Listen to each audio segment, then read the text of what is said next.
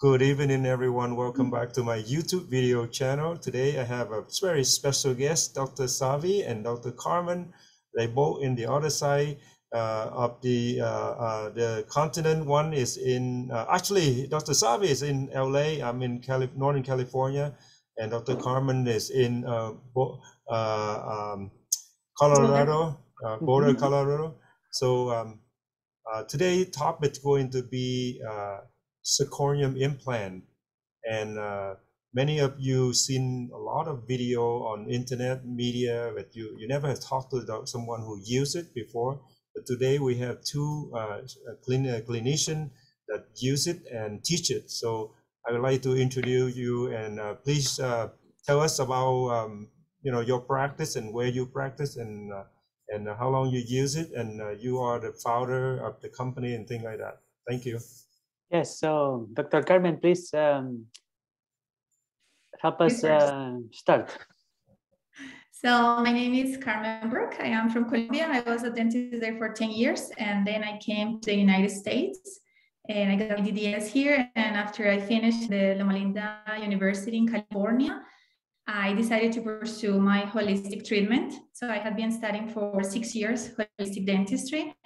And I knew about zirconia implants, but I, I didn't want to place them myself. I started referring people to surgeons and to periodontists. Unfortunately, uh, I couldn't find someone to place them the way that I wanted for my patients with laser, with PRF, and zirconia. So, so a lot of times I ended up with titanium. So uh, that's why I uh, just searching other ways and I found Dr. Javi Oliva and came to my practice. He trained me in my office. So we started placing uh, implants and, and, it has been two years and it has been great experience to have all of the cases from the beginning to the end. And I'm really pleased with the and with the, the health, you know, the biocompatibility. And so I'm really happy with that. So uh, because of that, we started as you said, bringing more awareness to other dentists. So we host Dr. Javi here in our office uh, four times a year and teach other dentists how to place these implants and just learn from our protocol. It has been great. It has been, the failures have been minimal and we're really pleased with that. So we want to share that with dentists and guide them and give them a protocol from A to C, just for them to know how to implement that system in their offices. And I love one is one piece system. I love it because it's really easy. I just had a patient that he came for a follow up and is ready for the crowns, and I just offered to to get them take the digital impressions. And just prep a little bit the implant and then he's ready for the crown so it's very simple. I don't have to manage screws or abutments or so it's really easy. So it's really doable. That's why i want to share this with other dentists. Beautiful. I love that. I i would be excited to have a chance to to learn what you guys do. I do traditional uh, implant, uh, and so I, I would be excited to see how you should come to our class. Yep, I, I think it's, it's, it's something something I would uh, look into it. Mm-hmm. Yeah, very interesting and very easy to do and very beneficial for the patients and for your practice. I, I believe and so. It's a really good yeah. practice. Mm-hmm. Mm-hmm. Dr. Xavi. So um, I come from a family of dentists my father uh, is a general dentist and my brother did um, perio program. I did uh, three year ortho program and uh, in our office we were doing um, uh, multidisciplinary dentistry and uh, we got uh, a little bit known in the area for um, working with metal free materials. And at that time I'm talking uh, two decades ago, um, patients were um, demanding as well implants with uh, no metal. And at that time, um, we started to see some titanium implants with some uh, issues, like the gum was not uh, too happy, it was red, uh, there was uh, too much probing and uh, bleeding quite often um, the prosthetic components, the parts that you were putting putting in and out of the mouth, um, patients were complaining of the smell. So it was um, it was some kind of treatment that uh, some patients were demanding uh, function and they were very happy. But the patients that were demanding function, health, static treatments, and all these type of uh, um, very um, demanding type of dentistry, um, it was difficult to achieve with implants. And then we thought, uh, let's let's do some uh, research in ceramic implants because every time we see ceramic crowns or inlays or onlays, uh, tissues seem to be very very healthy. So we did research with ceramic implants and we saw uh, that Japan had done some research in animals and the, um, the osseointegration was very good, but the mechanics were not so good. And uh, it happened the same with uh, crowns. In the beginning, the ceramic crowns that were without metal, they, uh, the success rate in terms of mechanics was very poor. But as soon as the materials started to improve and the labs had some uh, know-how on how to do the ceramics, we thought, you know, maybe zirconia, hmm, if uh, crowns are not breaking in half, if bridges are not breaking in half, if many, many things that you do with zirconia in terms of tooth restoration is not breaking, uh, maybe we should give a chance to implants. Mm-hmm. So we started to do some research with implants until like many, many, many uh, animals and mechanical testing and uh, surface treatment, all kinds of uh, research that you can imagine until uh, we had some prototypes. And then we started to do some um, treatments on patients. And finally, the shapes that we have, because we have uh, seven different shapes, the seven different shapes that we have, uh, we are able to restore almost every tooth in the mouth and this has made uh, treatments easy because the um, implants that we have available uh, look very similar to the tooth that we have to restore. So in terms of um, soft tissue, uh, I have, uh, my opinion is that uh, there's nothing uh, more soft tissue friendly than ceramic. So every time you put any metal that is connecting from inside the bone through the gum all the way outside is going to attract a lot more of plaque and bacteria compared to a surface that is non-conductant because ceramic eh, the good thing of ceramic is that it's non-conductant. It doesn't suffer corrosion. So we have seen so much um, successful stories compared to titaniums that we see many many patients with um, titanium implants that are um, red and they don't seem to tolerate their gums are not really happy.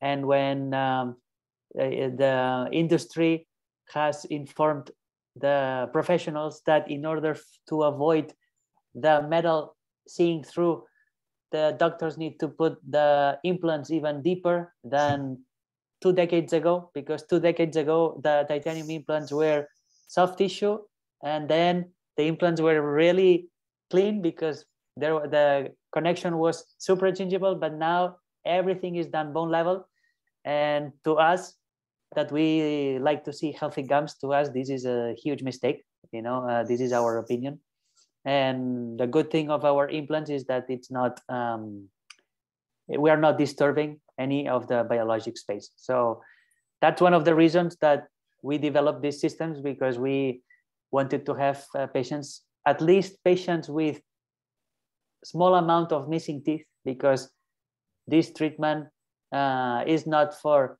all types of patients. So patients that have very, very um, severe type of periodontitis with natural teeth and they have mobility on teeth, this is not the right type of implant. But patients that are missing uh, teeth in multiple positions, uh, we think that there is nothing in terms of health that matches these uh, the properties of this material. You know, so we are happy to uh, teach other doctors um, the benefits. You know, and knowing the limitations because in every like everything, knowing the limitations of a material is key because if you think that with every product in the market you can do all the treatments that they tell you that it, you can do you're going to be in trouble you know because your your learning curve is going to be terrible so at least um, knowing what the potential is of the material um, i think uh, doctors have had very good um, experiences you know? A couple of questions. So one question would be uh, uh, how long the this this uh, uh, type of implant is on the market?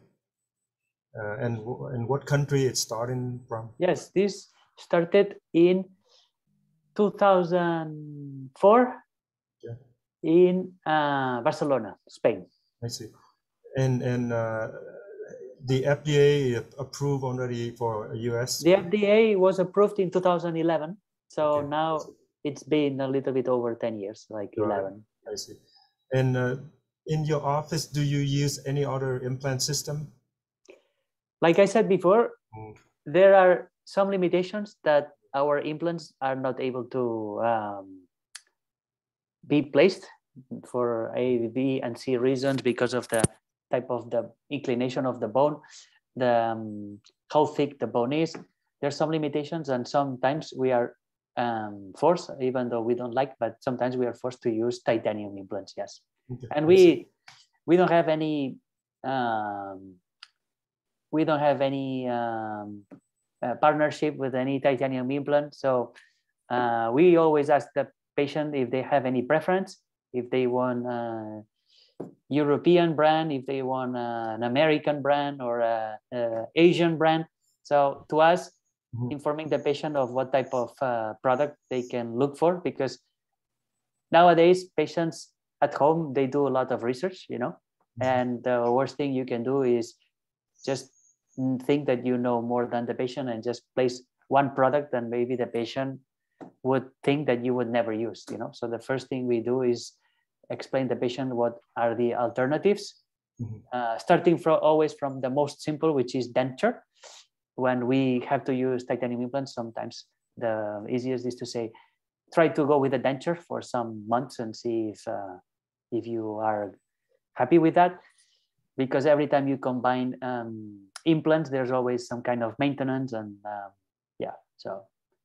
So are you saying that uh, uh, with this type of implant, the uh, um, uh, the zirconium implant, you, we can use it for denture or we don't use it? yes, yes, but there has to be bone. There has to be good amount of bone. Are you?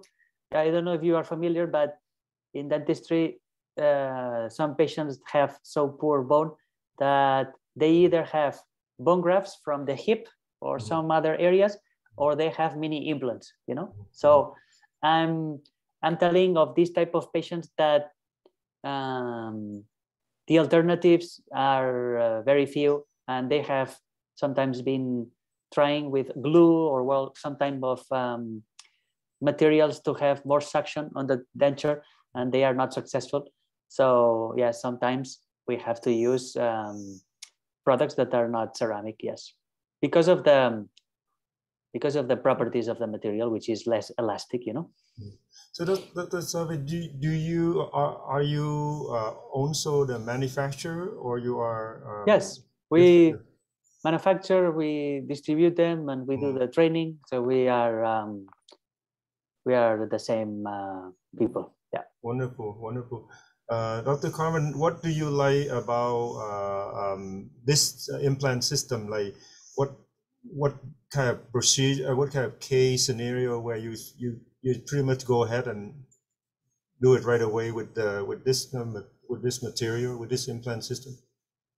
So in my practice, we only use this these root implants. Uh, I love the um, clinical support from Dr. Javi Oliva and his brother, Dr. Joseph. Um, I think that's a key. I just want to give the best for my patients, and they help me with everything, which I highly appreciate. Um, I do everything. I, my patients come here because they don't want uh, to miss a tooth. They don't. They want infections out. They don't want any metal. So because I practice holistic, they come here especially for this type of implants. So um, in my case, is just just explain the properties they are looking for. That is very easy for me because they already know what they want, and that's what we offer. They want the PRF, they want the laser, they want the ozone, and they want the ceramic implants. And from the ceramic implant systems that I know, uh, this is that I like the most because it's one piece. The emergence profile is amazing. The healing is amazing. So I have done like full mouth and I have done also individuals and also for bridges. I had placed the CeraRoot in every area of the mouth. Um, I really like it. I like everything. The way that we plan it in the, so I have a CBCT, I have Planmeca, and we can do the virtual placement and then we can just plan the surgery and just the healing is amazing. So we always tell the patients it's going to heal from three to six months and a lot of times two and a half months and the, the implant is like really well also integrated.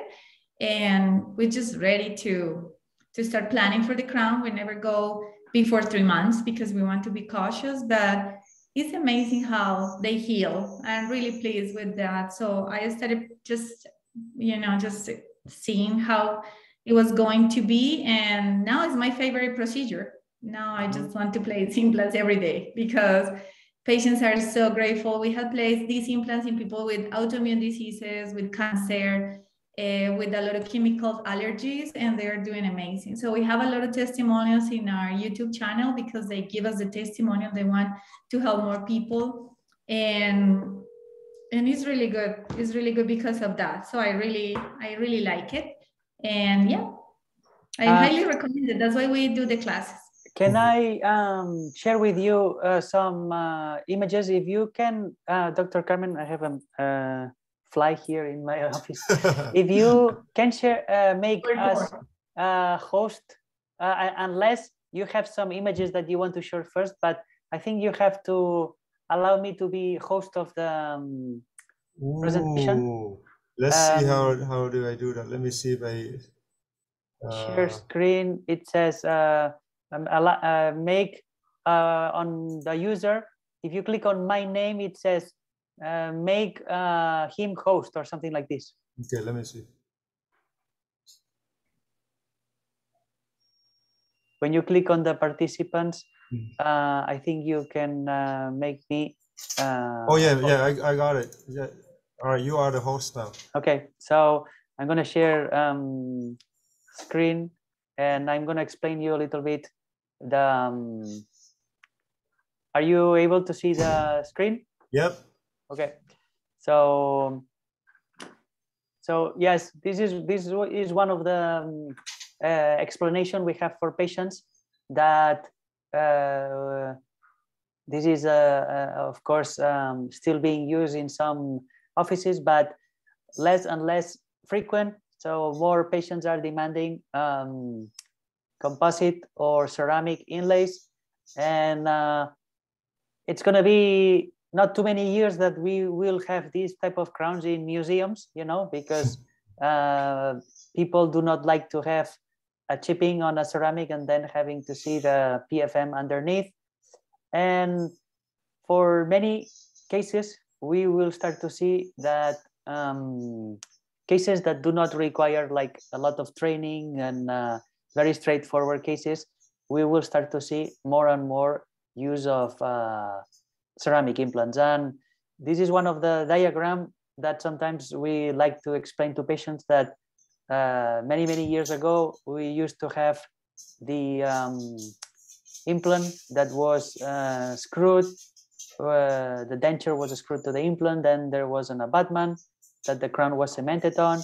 And then um, when patients started to demand more aesthetic treatments, because in the decades ago, when somebody was demanding an implant, uh, they could not ask for aesthetics because the doctor was just starting with implants and the doctor would simply say, I'm just going to give you a tooth for eating, but don't ask me about aesthetics because we just learned about this type of uh, solution.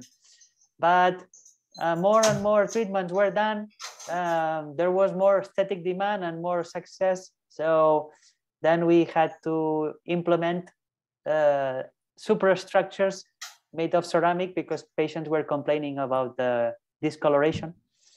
And this is the, um, the big, the big um, gap that uh, we have here microscopically. Uh, uh to us, uh, to the eye, it's a very thin um, space, but for the bacteria, this is a huge, huge environment, this type of connection. And the deeper we put this connection inside the bone, because this is supposed to be bone level and this is supposed to be tissue thickness, the deeper we put this to hide the metal, the more trouble we're bringing to the patient's mouth. At least this is from my point of view. I'm talking as um, a, a, human being that likes to see very, very healthy gum first, and then second, aesthetics. But first, my objective is patient with really healthy gums.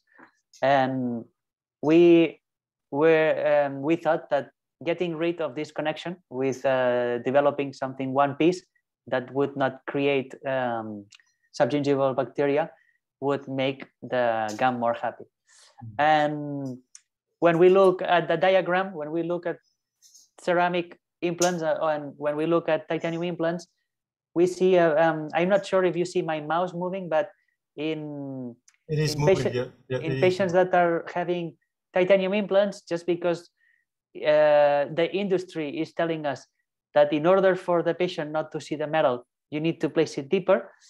Um, we're seeing more and more uh, problems with the gum and more and more pockets because uh, we are placing connections far down and palatally so that um, patients are not complaining about the color and about a dark shoulder.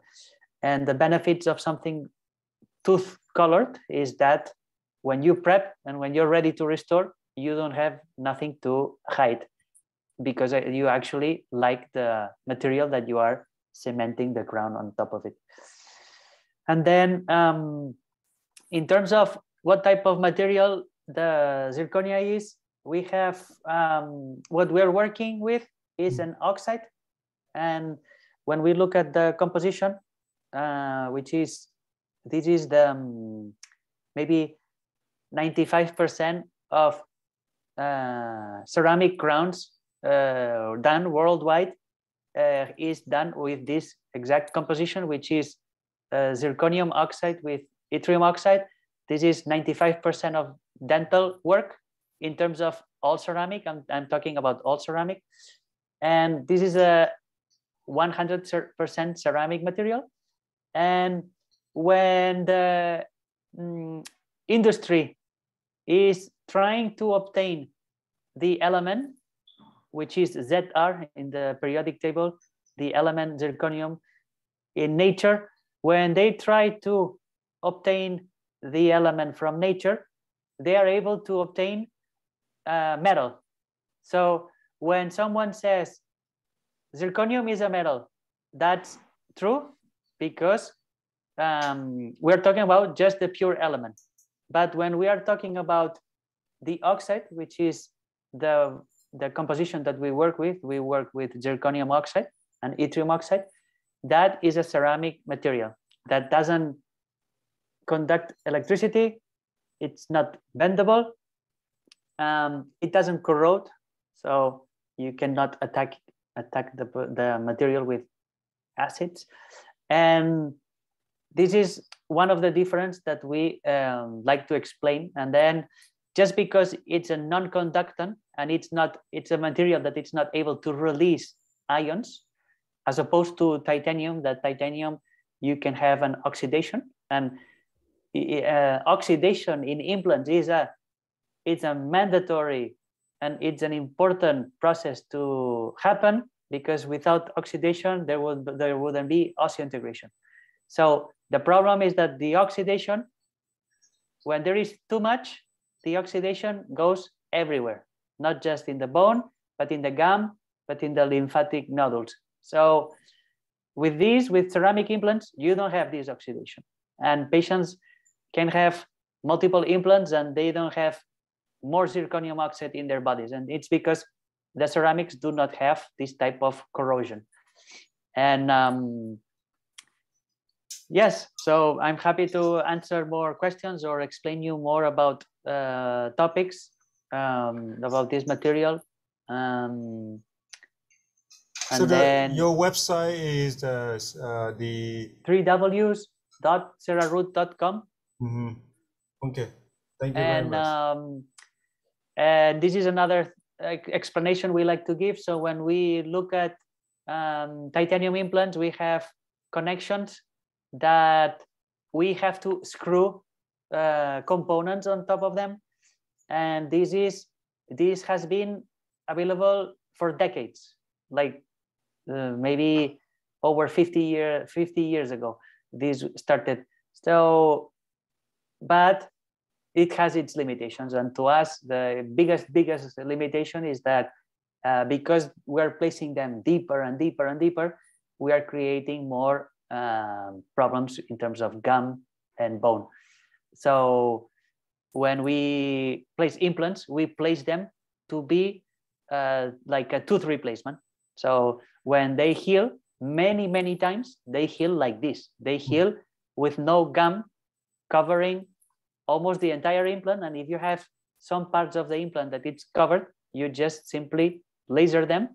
And then you have the benefit, of course, if you have intraoral digital impressions, you are seeing exactly the shoulder that you want to restore. Whereas if you have a titanium implant that it's covered in gum or with a um, cover screw, you basically don't know what type of connection you're gonna you're gonna restore with, especially if the implant was placed by someone else. And the someone else meaning not someone that is referring to you. So the patient comes from another town that they moved and then they want to continue the treatment, but the doctor that they work with maybe just quit and they don't have the medical chart. So this is this type of implants, you don't need a catalog to restore this. That's the beauty of it, that you can finish dentistry of school and the next day that a patient like this comes into your office, you restore without taking a phone call and asking, send me this, send me that, I need to borrow a wrench, I need to, so this is, um, this is, uh, for, for, for us, this is a very, very uh, advanced in uh, ergonomics and simplicity, you know?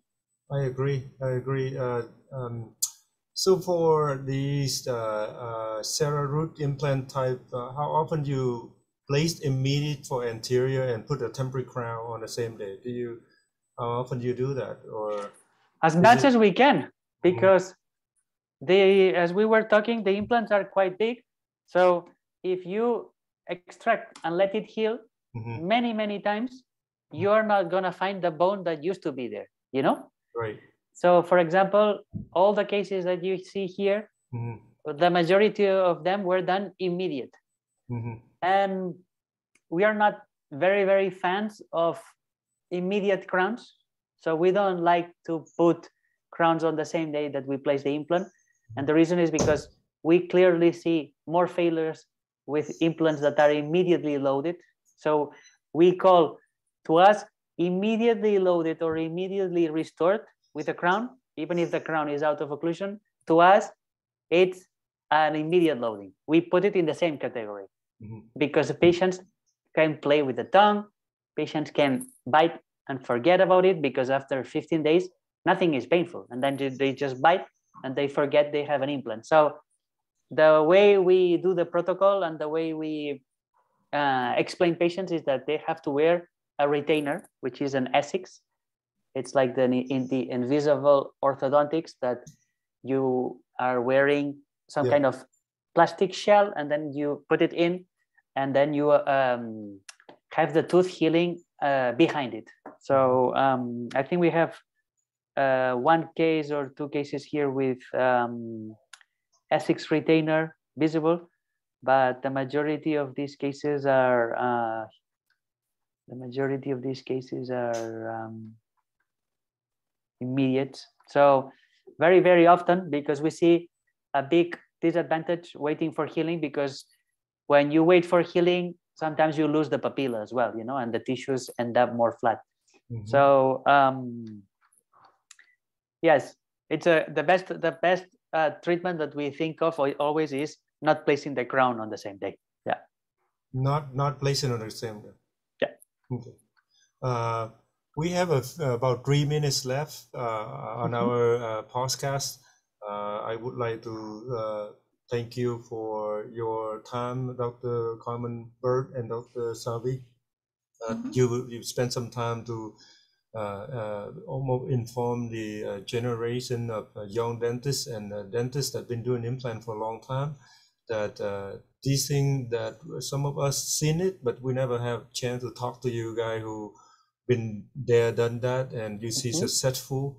And uh, I can uh, assure that uh, the audience who watching this, uh, you know, you can contact uh, the two doctor here and uh, and reach out to them and learn more.